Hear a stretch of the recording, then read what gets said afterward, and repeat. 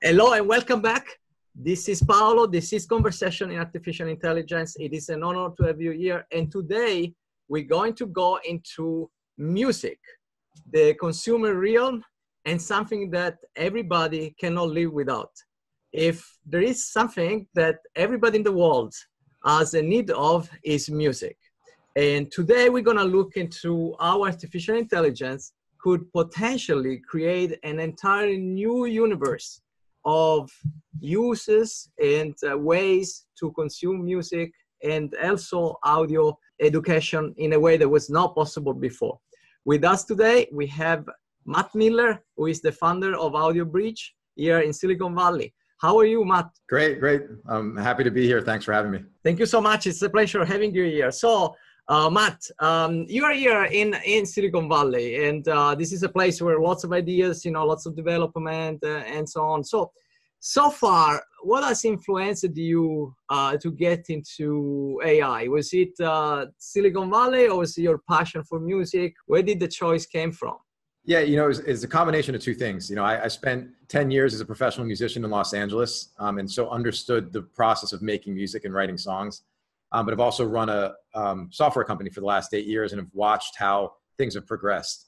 Um, AI is such an exciting field right now, and seeing the possibilities actually come to life. It's something people have talked about for a long time, but it feels like we're finally hitting a tipping point where it's becoming a reality in a lot of senses, and it's becoming more, I guess, commercially viable and has more use cases for the end user. So having my passion for music, um, understanding what songwriters want, and uh, building a tool that can help them uh, made me realize that AI could even help them even further and enhance the, the creative process even greater than it has ever been before in the past. We had you going from the media industry in Los Angeles, coming all the way up here in, in Northern California and, and experiencing the tech industry. So, at, at a personal level, what, what's different between the two and what they enable you to do here and there? Yeah, you know, it's it's a it's it's a really interesting question because as we've been building out this product, we constantly asking ourselves, are we a music product? Are we a tech product? Are we a little bit of both?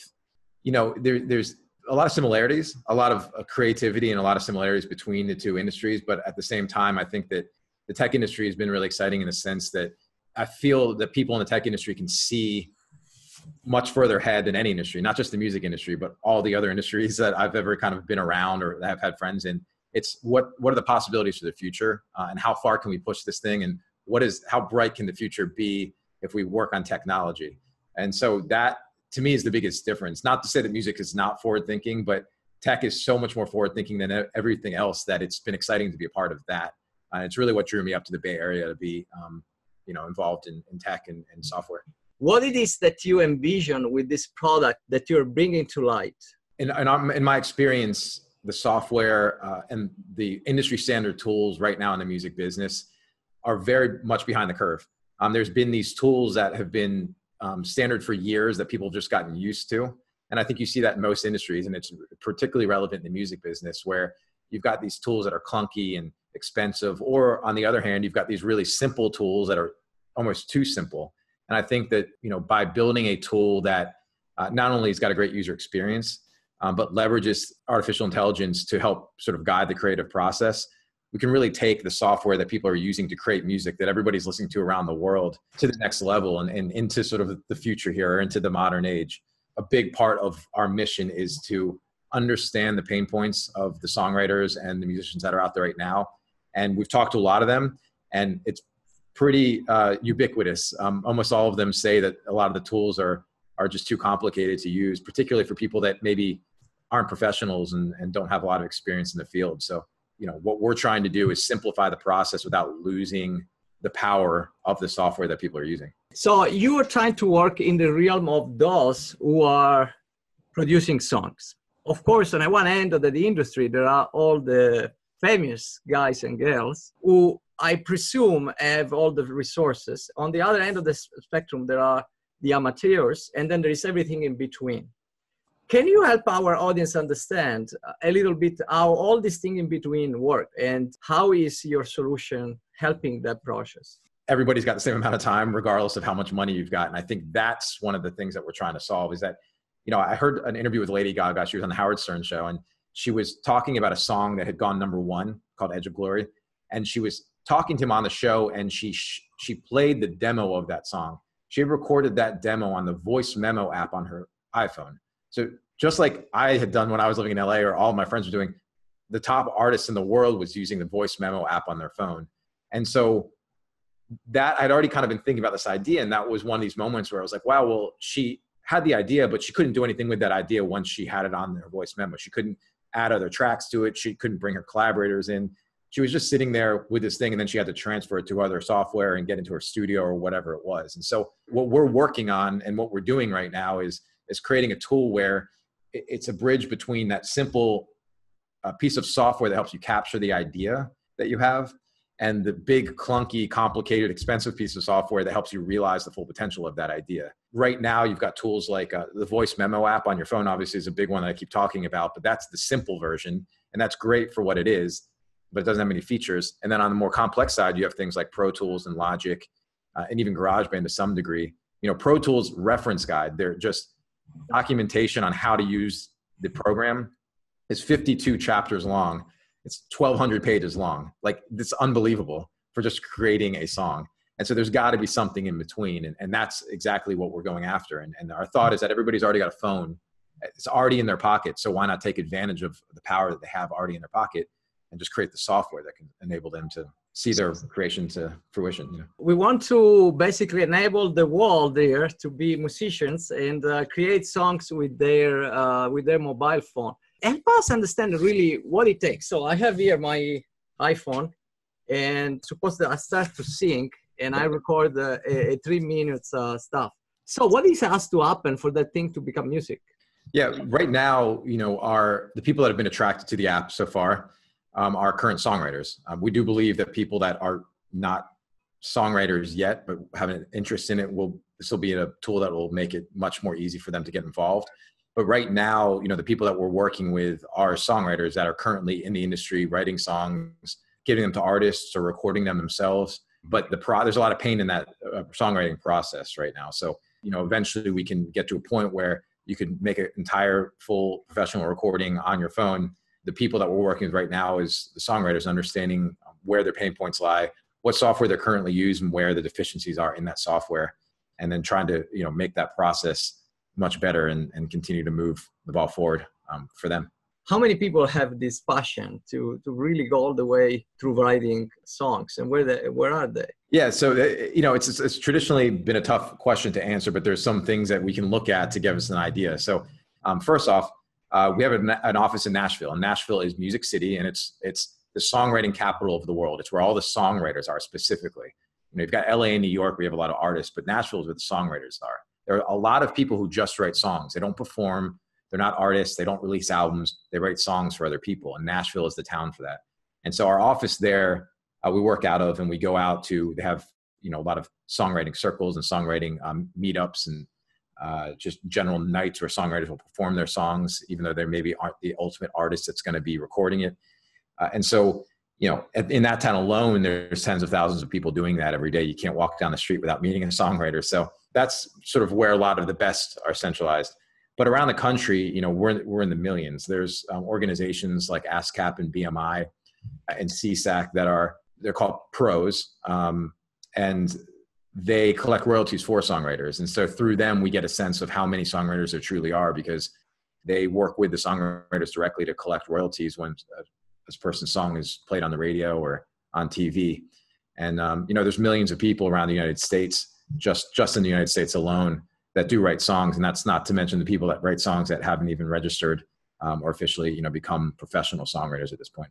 We see that this process of, uh, if you like, editing the song, combining it with with other songs, uh, with other pieces, is cumbersome, requires uh, large equipment, and also a lot of time. Why this industry has been like this for so long? Why it was not possible to have Audiobridge before? Well, first off, the mobile phone is the biggest thing I think is that you just people didn't have that computing power in their pocket, you know, uh, initially. But the other things are, you know, number one, recording equipment used to be a lot more expensive. People are able to do home have home recording studios now um, for much cheaper, and so we're just taking it to the logical next step.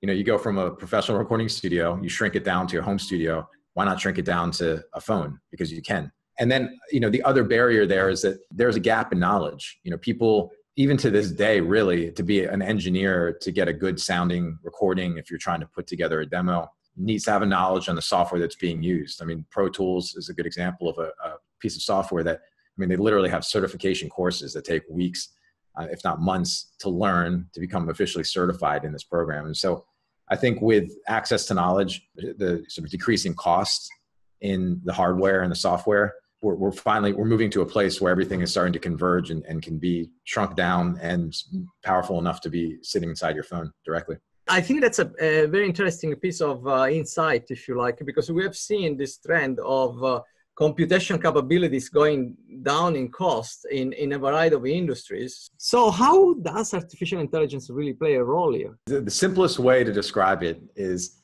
if you can imagine an audio engineer in a studio, so people that don't spend time in studios, I'll explain what they do. There's a person that sits behind the board where it's got all the sliders that you see when you watch videos of people in a recording studio. And that person is responsible uh, most of the time for setting up microphones, getting good tones on your recording, being able to adjust the levels. I mean, and just be a human being in the room that helps to give uh, advice or feedback from a third party perspective. So, for example, you are singing in a booth an audio engineer can sit there with their eyes and their ears. They know, okay, I'm recording a vocal track. And then if you sing and you're off pitch, they can say, okay, well, we can either use auto tune to get you in tune, or we can tell you to t- do another take. For us, artificial intelligence replaces that role of the audio engineer. We can do audio recognition to understand what it is that's being recorded. We can understand if it's on pitch or not and be able to suggest maybe either automatically apply auto tune or um, ask you to do a, another take if um, it's a good suggestion. Uh, and on top of a bunch of other parameters, so understanding the key of the song, um, which might even be beyond you know the capabilities of an audio engineer, uh, understanding the beats per minute, understanding the mood of the song, so on and so forth. Uh, and so if you can understand all of these things, you can then make relevant suggestions to the user and guide them through the process without having to pay uh, for the studio time or for these you know expensive engineers. Um, that's not to say that the engineers won't still have a role, uh, they, they still will in this process, but the tedious part of their jobs can be replaced uh, through artificial intelligence. The fact that now we make it easier to create music, does it imply that more people will create music? I would say so. The example I always use is Instagram. Think about professional photography before Instagram. There, it costs a lot to buy an SLR camera, understand how to use it, go out and take the pictures. The people at Instagram and, and other companies at the time figured out that simple feature, simple filters, simple effects can make your picture look that much better. And in turn, the ecosystem saw the power of that, and you saw that Apple was building better cameras in their phones. And now, to be a quote unquote professional photographer doesn't necessarily require school, doesn't necessarily require uh, expensive camera. Uh, of course, it opened and it opened up uh, this community to a lot of other people. Now, that's not to say that you know you're not still going to have that sort of bell curve where the, the very top best photographers are, are, still a small portion of it but it opens it up to more people to have the option to understand that industry and, and maybe find a passion for something that they normally wouldn't have had access to in the past.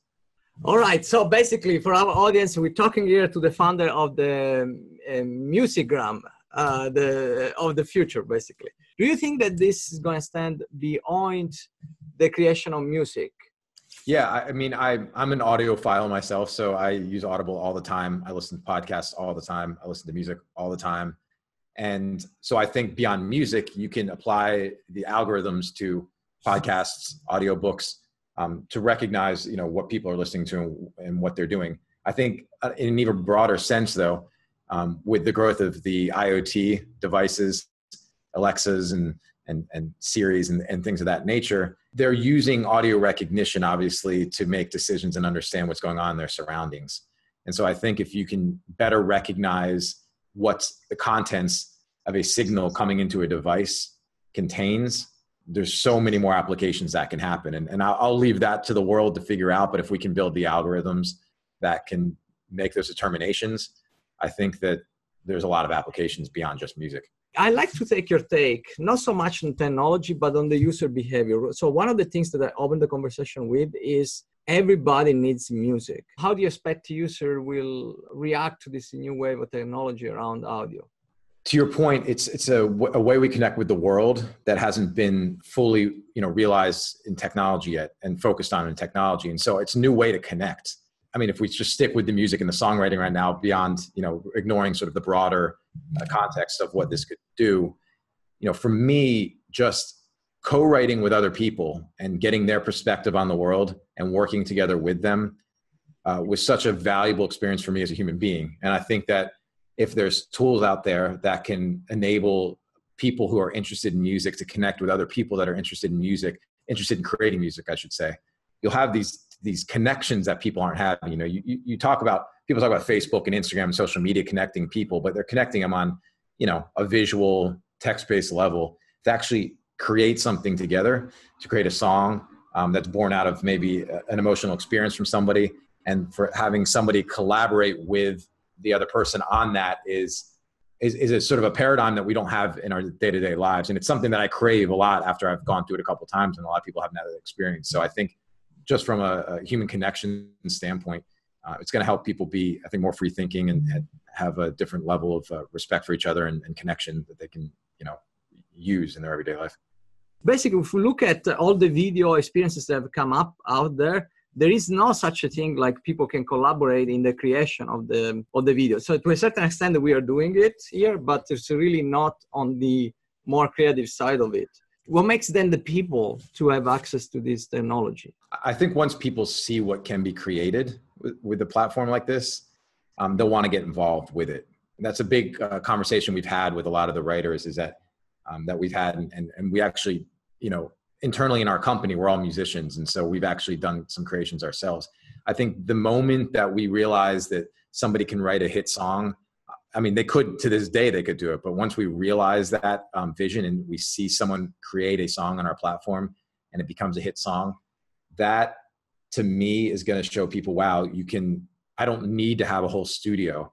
I could literally do it right now. I have the thing in my pocket. I just need to figure out this. Uh, I need to figure out this inspiration I have and, and see it come to fruition. We just want to lessen the friction uh, for people. You know, we're not going to tell people you're going to become a better musician necessarily through our application, but you'll be have more access to the tools that will, I guess, ultimately make you a better musician. But we we just don't want any friction in the actual creation process once you get inspiration.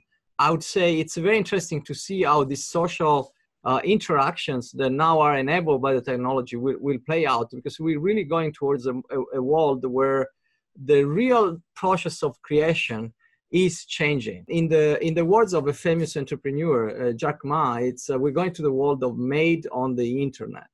So I always ask questions uh, around uh, you know big teams in uh, in artificial intelligence, and uh, this last questions is leading me to um, ask you the following. On a one way, here we're envisioning the ability to produce music around the world in the internet, basically with co- cooperations. On the other end, we see the displacement of the audio engineering, uh, we see the displacement of uh, all the software and so on. What is your, you know, your path about this topic of job creation and uh, uh job destruction, if you like? To me, it's more of a shift than a creation and, dis- and uh, destruction.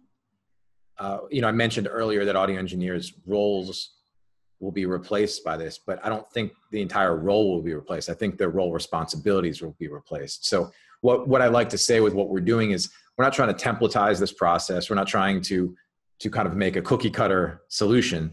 We're trying to break down the barriers to creativity uh, and and give people the tools to be able to take steps um, that can make them better and more creative. And I think that even from an audio engineer standpoint, these things are, are more functional job roles. It's not as creative. And so to get those out of the way, to get the artificial intelligence to take on the tasks that are getting in the way of being creative and being able to use your brain power for the creative side of things, I think that is going to be the value in this. It's it's not destroying a job. It's not um, necessarily even creating new jobs. It's shifting the way that people are doing their jobs and allowing for more creativity, which in our minds is going to create a higher quality of, of music and a higher higher quality of output from everybody. The human creativity and if you if you like the self actualization can be taken to an entire new level because we now get uh, free from a number of so-called intellectual functions that they are, they are yes they're intellectual but yes, they are also very manual. Like it's it's our intellect to control processes and manuals. So on that